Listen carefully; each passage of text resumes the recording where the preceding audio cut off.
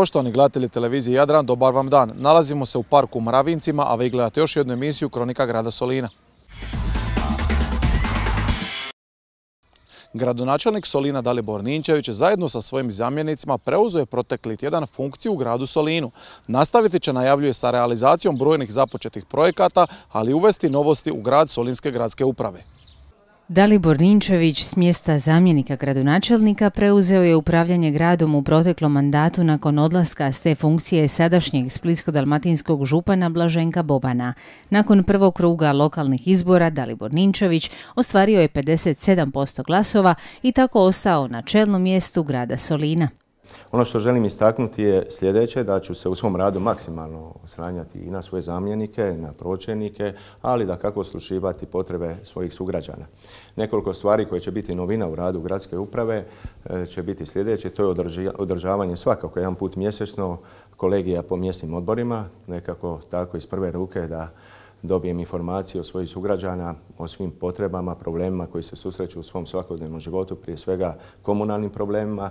Isto tako, vrlo vjerovatno od jeseni uvećemo jedan dan popodne rada gradske uprave, upravo da bi i naši sugrađani koji su u radnom odnosu, a ne mogu zadovoljiti svoje potrebe kroz jutro, imali mogućnost popodne doći obaviti svoje potrebe, obaviti razgovore, Solinski gradonačelnik oslanjaće se na svoje zamjenike. Među njima je 29-godišnji Ivica Rakušić, najmlađi zamjenik gradonačelnika u Hrvatskoj. Dolazi iz privatnog sektora, magistar je ekonomije i bavit će se privlačenjem sredstava iz predpristupnih fondova Europske unije. Imam petogodišnje iskustvo rada u privatnom sektoru, a posebno bih apostrofirao posljednje dvije godine rada u domeni pripreme provedbe projekata financiranih iz strukturnih investicijskih fondova. Tako da upravo to iskustvo planiram implementirati u svakodnevnom radu kako bi realizirali ove projekte o kojima je gradonačelnik pričao, infrastrukturne projekte e, koji će stremiti poboljšanju kvalitete življenja svih naših građana, ali i privlačenju investicija. E, tako da evo, to će biti jedan fokusa moga rada, ali naravno planiram biti desna ruka gradonačelniku u svim e, aspektima rada gradske uprave i općenito društvenog života grada Solina. Drugi zamjenik solinskog gradonačelnika je Tihomir Bečko, gradski vijećnik u proteklom mandatu, otac petero djece, invalid domovinskog rata, a bavit će se uglavnom poslovima iz sektora društvenih djelatnosti. Znači, to je ono osnova mog života. Ja, kao što znate, sam otac petero dice i kroz moj život, kroz odgoj moje dice, ja već godinama surađujem sa djelatnicima vrtića i jako dobru suradnju imamo. U gradu je uvijek, kao što znate, nedostatak vrtičnog prostora. Sad izgradnju ovih novih objekata će se, ja se nadam, e, smanjiti broj e, neupisane djeca kojih uopće ima i da se taj standard dovede na jedan optimum, na jedan propisani državni nivo ili Započeto je mnogo projekata, ističe gradonačelnik, no postoje oni koji su u završnoj fazi što se tiče dokumentacije. Ovih dana stiže građevinska dozvola za vrtički centar priko vode u kojem će biti smješteno šest odgojnih skupina predškolske djece, a na katu pet učionica za razrednu nastavu za potrebe osnovne škole Kraljice Jelene. To je projekt koji nemamo ovog trenutka podatke koliko, ali je financijski dosta zahtjeva. Naravno da grad Solin e, vlastitim sredstvima ne može isfinancirati cijeli projekt, ali s obzirom da imamo e, pripremljenu dokumentaciju, vjerujem da će moj zamjenik, a i da će stručne službe do kraja godine pripremiti, aplicirati sredstva bilo preko ministarstva, bilo preko evropskih fondova kako bi dio sredstava osigurali za financiranje tog projekta. Drugi projekt je poslovni centar u Rupatini. Isto tako dobijamo lokacijsku dozvolu, idemo izvedbeni projekt. Tu je također predviđeno tri odgojne skupine za djecu preškolske dobi, prostorije za mjesni odbor, ambulantu, knjižnicu, sve ono što je potrebno za taj dio e, našeg grada, odnosno zadovoljanje potreba naših sugrađana. Već je aplicirano nekoliko projekata prema pristupnim fondovima kao što je uređenje izvora rijeke Jadro i uređenje ljetne pozornice Gradina, a grad prati dinamiku radova kad je u pitanju izgradnja osnovne škole u Ninčevićima. Ovih dana će biti potpisana odluka o izvođaču radova, novom izvođaču radova. E, ne mogu sada izlaziti još imenima, ima neke neformalne informacije. Kada to bude, vjerujem da će brzo izvođač biti uveden u posao i da će, kao što je obećano i kao što svi mi očekujemo, posebno roditelji djeca iz tog područja, da će ona biti završena i otvorena za školsku godinu 2018-2019. Gradonačelnik poručuje kako je cilj stvaranje povoljne poduzetničke klime u Solinu kako bi investitori ulagali na tom području, a mlade obitelji ostale raditi i živjeti u svom gradu, prijatelju djece. Održana je protekli vikend još jedna hvale vrijedna akcija oplemenjivanja nekada kultne solinske plaže Mramorna. Druga akcija u nešto više od tjedan dana.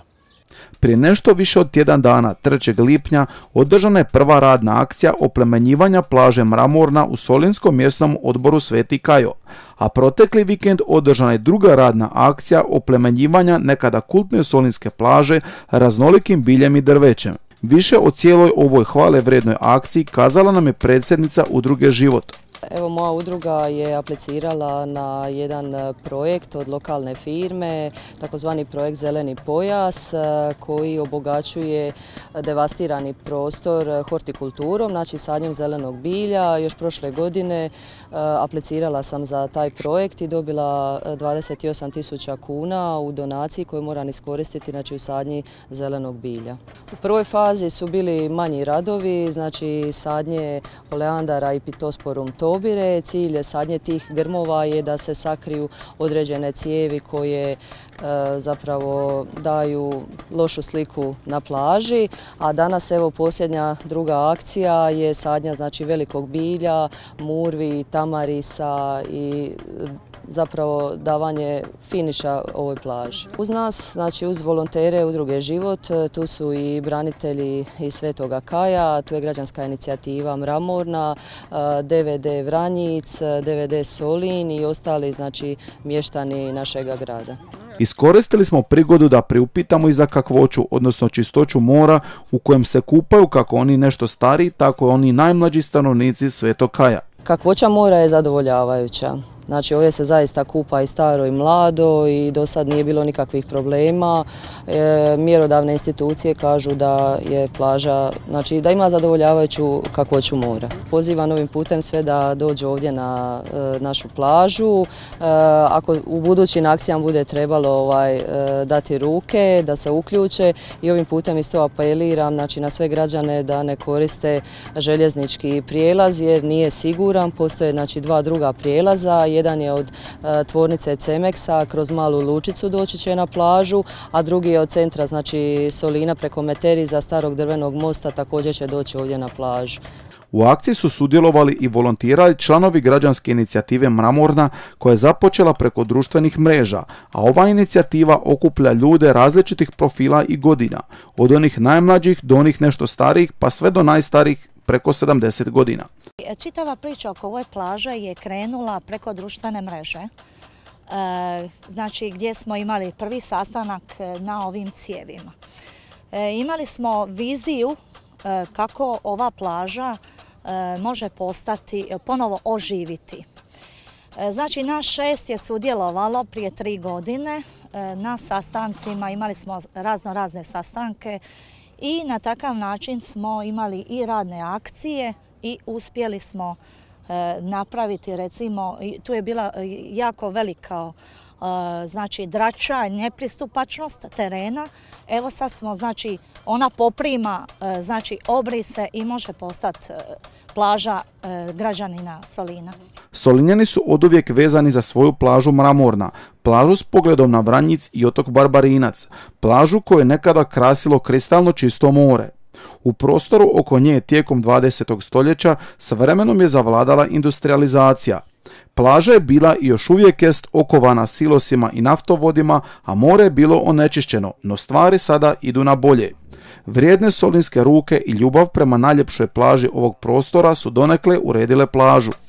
A što plaža znači Solinjanima i kako je nekad izgledala kazao nam je Vinko Marović koji se kupao na ovoj plaži od narednih dana svog djetinjstva jednostavno emocije vuku, ko nije ovdje proveo mladost, jednostavno ne može on to ni nekako ni doživiti, ali meni je srce oko u lava. Ja se ovdje sjećam recimo zeleni rezervara, pa tamo bila dvi Maone i Ređina, to smo tamo zvali Žicovo, tu smo se učili kupat, e, plivat, iza Kina bi bilo noćno kupanje, a danas kad se ovo oživljava, ne mogu jednostavno da ne dođem, jednostavno me veseli to je to. Danas se na plaži kupao neke nove generacije djece, a jedna od onih koji se kupao na mramorni je i sedmogodišnja Ema Šalov, učenica prvog razreda osnovne škole Vjekoslav Parać. Ja se ovdje kupam jako često, dolaze mi prijatelji. I ovu plažu jako puno volim. Solinjani od svoje plaže neće nikada odustati, a ove dvije akcije oplemenjivanja plaže su jedan od pokazatelja njihove upornosti. A kao što kaže slogan na majicama građanske inicijative Mramorna, ova solinska plaža trebala bi kao i nekada postati i u budućnosti plaža mog djetinjstva, novim generacijama najmlađih solinjana i solinjanki. I ove godine održana u gradu Solinu bicikljada za djecu pod nazivom Šušur na dva kola, a mjesto radnje ovaj put bile su Kućina i Mravinci. Pod nazivom Šušur na dva kola, Dječje gradsko vijeće Solina i koordinacijski odbor Grad Solin Prijatelj djece u subotu 10. lipnja organizirali su tradicionalnu biciklijadu za najmlađe stanovnike Solina koja je ove godine održana u Kućinama i Mravincima. Cilj ovog sportskog događaja jest prezentirati zdrav način života kroz rekreaciju, točnije biciklizam i to prvenstveno djeci, a i zaključiti školsku pedagošku godinu 2016-2017 i važno je naglasiti sama biciklijada nije natjecateljskog karaktera. Prošle godine je bila u mjesnom odboru Vranjice, ove godine u mjesnim odborima Kućine i Mravince. E, svake godine odaziv je sve veći, evo djeca su željna ovakvih događanja, pogotovo na ovim dijelovima, rubnim dijelovima grada, u Kućinama i Mravincima i evo subotno jutro je kvalitetno i zdravo provedeno, zajedno sa roditeljima, bilo je dosta i roditelja, ali i one djece vrtičke dobi, što me jako radovalo, tako da je bilo i rola, i romobila, i bicikla, baš je bilo lijepo. Ja mislim da su djeca jako zadovoljna. Start biciklijade bio u subotu u 10 sati ujutro, pored crkvice Svetog Luke u Podinama u Kućinama, a kolona je krenula prema Mravincima uz nadzor službenika MUPA i solinskih vatrogasaca ulicom Podine. Prijave nisu bile potrebne, tko se god pojavio na startu utrke do 10 sati mogao se uključiti u ovaj šušur na dva kola u Kućinama i Mravincima. Pa dobar je osjećaj zato što drugim ljudima pokazujem kako je to zdravo voziti biciklu. Ja jako volim voziti svoju biciklu zato što je to zdravo i zato što je zabavno i uz se uvijek igram s prijateljima na njoj. Skoro svaki vikend idemo se voziti nekih uru, e, sat, dva, tri. Dobila sam je prije dosta godina od mame i tate. U biciklijadi su naravno sudjelovali i članovi Dječjeg gradskog vijeća Solina na čelu s predsjednikom, malim gradonačelnikom Lorenom Morošnjakom. Pa volim je to što dobio sam je kao petogodišnjak i vozio sam je do škole, do treninga, ovisi, ovisi po potrebi. E, na ovome sudjelovanju mi je baš e, lijepa čast, zato što je to lijepo druženje, jedno lijepo iskustvo. Biciklu sam dobio u drugom razredu, vozenje od tad svaki dan skoro. E, u školu, na trening, gdje god mi padne na pamet, onda se po ulici zezamo, trkamo. Došli smo ovdje kao članovi gradskog vijeća, dječjeg gradskog vijeća e, i tu smo, sudjelujemo i mislim da će ovo biti super. Šušur na dva kola je biciklijada koja nema natjecateljski karakter, već je rekreativna vožnja u kojoj nema odvajanja, pretjecanja i utrkivanja, a ovom biciklijadom još jednom je odaslana poruka, a to je zdrava rekreacija i više vremena na svježem zraku uz sportske aktivnosti, a manje uz laptope, mobitele i kompjutere u pasivnom sjedećem položaju. Uključili su se i roditelji u ovu biciklijadu, pružajući im primjer svojim sudjelovanjem. Vozili su i bicikle i tate i mame, ističući kako podržavaju ovakve akcije i kako djecu u istinu treba odmaknuti od pošasti mobitela, tableta i ostalih malih ekrana. Biciklizam, to je najvažnije, da, ovaj, da djeca učestvuju, da se nauči u prometu, da znaju preći ulicu, da znaju se kontrolirati na cesti, da, da ne divljaju. Bilo koji sport je dobar. I, mi smo uz mobitele, ne možemo njih pravdati, mi smo uz mobitele, u takvoj smo e, generacija, smo mobitela, tehnike i tako to, tako, ali i mi smo se igrali i predlažemo njima da se što više igraju. Naravno uz tu igru da nešto i nauče. Cilj biciklijade bio je centralni park u Mravincima gdje je organizirano i druženje uz besplatne sokove za sve sudionike biciklijade. U teatrinu Gradske knjižnice Solin održana je zanimljiva modna revija pod nazivom Povratak u 80. Modna revija učenika škole likovnih umjetnosti iz Splita oduševila je još jednom publiku u ispunjenom solinskom teatrinu. Vratili su se svi prisutni natrag u lude 80.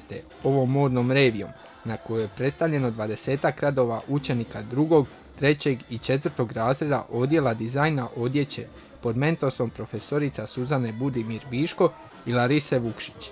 Svake godine se sastavimo izgleda u isto vrijeme ovdje u ovom prostoru. Ovo je već naša tradicionalna modna revija koju zajedno u suradnji sa gradskom knjižnicom Solin imamo početkom e, lipnja. Ove godine smo tematski odlučili da to bude revija koja je na neki način povratak u 80. Znači učenici su svojim radovima koristili elemente mode, društvenih zbivanja, kulture, subkulture i svega onoga što je 80. činilo specifično, propitivali su odnos i mode i umjetnosti, mode i subkultura, mode i glazbe i tako.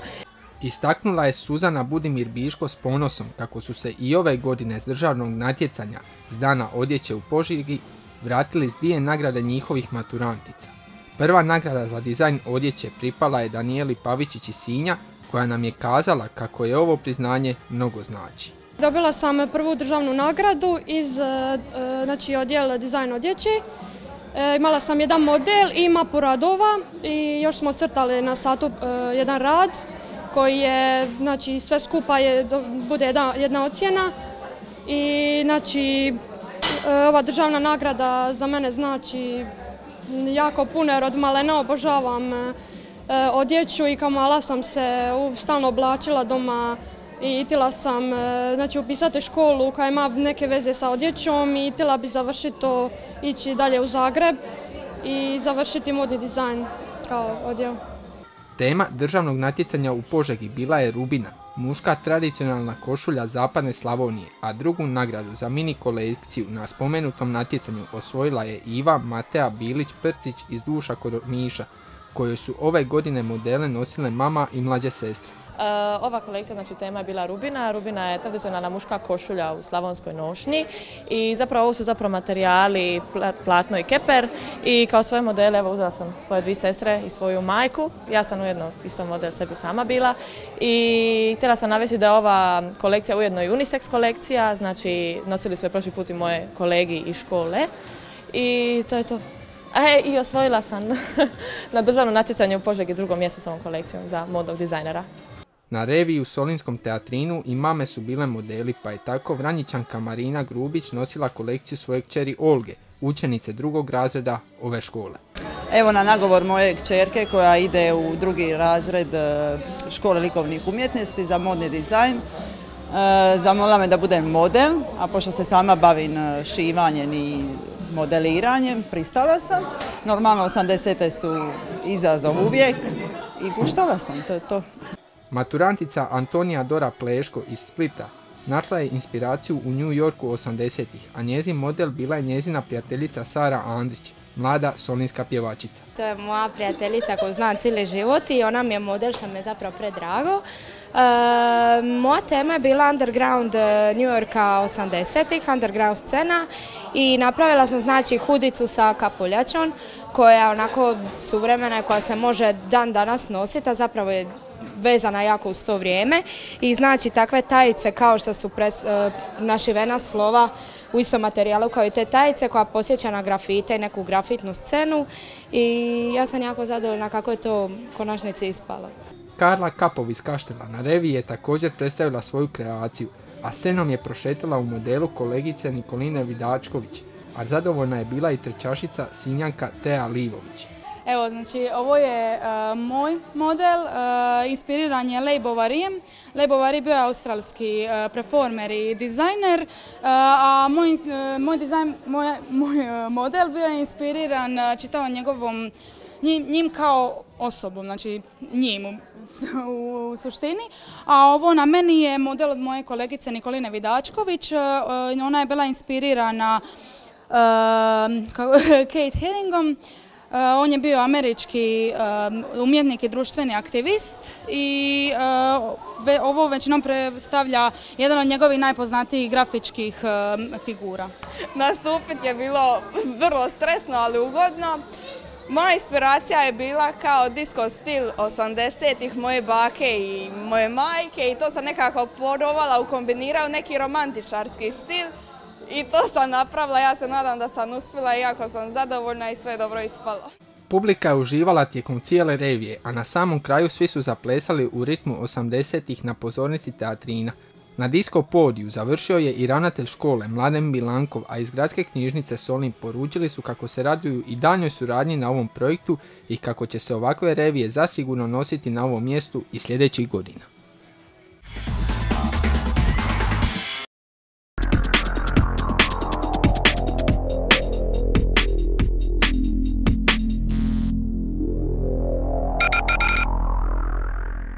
Mladi nogometaši dvije kategorije nogometnog kluba Solin ostvarili su ove sezone iznimne uspjehe i rezultate.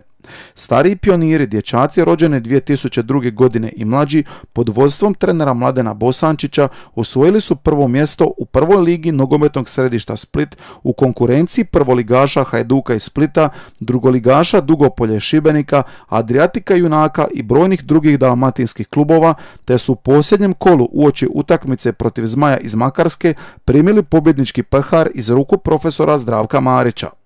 Drugo mjesto u konkurenciji svih naboranih klubova osvojili su kadeti pod vodstvom trenera Mladena Jurića sa jednakim brojem bodova kao i prvoplasirani splitski Hajduk koji je nastupao van konkurencije. Ovim rezultatima mladi Solinjani plasirali su se na završnicu prvenstva Hrvatske koja će se igrati od 12. do 16. lipnja u Sesvetama te se imaju priliku u obje kategorije okititi naslovom amaterskih prvaka Hrvatske. Član starih pionira Mario Veljača također je prvi strelac lige sa čak 37 postignutih zgoditaka. Poštovani gledatelji, bilo je to sve što smo vam pripremili za danas. Pogledajte reprizu Kronike grada Solina u petak 18.20, a mi se vidimo ponovno za sedam dana u nove emisiji Kronika grada Solina. Do tada, lijep pozdrav!